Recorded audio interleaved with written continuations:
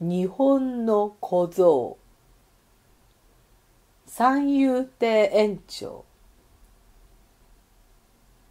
貞吉やへえお呼びなさいましたか？この手紙を矢部のところへ持ってまいれ。ただ置いてくればいいんだよ。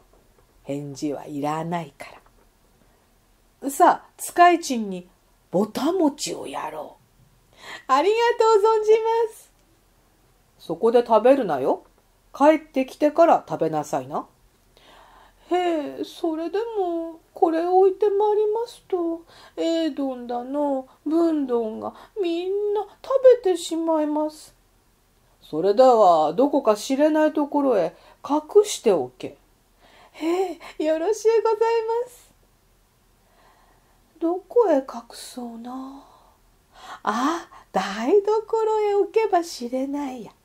下流しへこうボタン餅を置いて桶で蓋をしてと。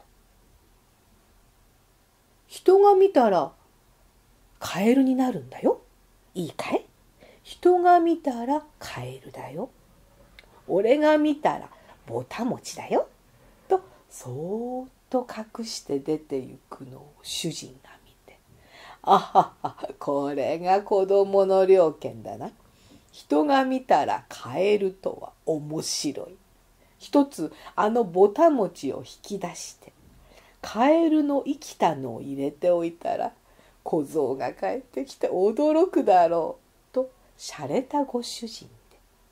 それからぼた餅を引き出してしまって、生きたカエルを一匹放り込んでおきました。ところへ行ってまいりました。大きにご苦労だった。早くぼた餅を食べな。へえ、ありがとう存じます。あ、ここなら誰も知れやしない。桶で蓋をしてあるから気がつかない。と開けてみると、カエルが飛び出した。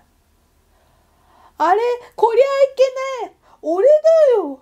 おいおい、ほっほそんなに飛ぶとあんが落ちるよ